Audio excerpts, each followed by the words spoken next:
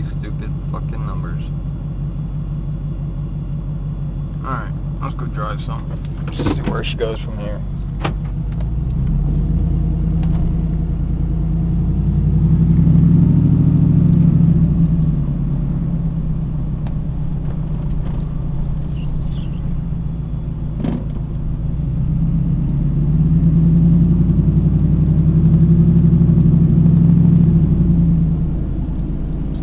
103. Y'all love Florida.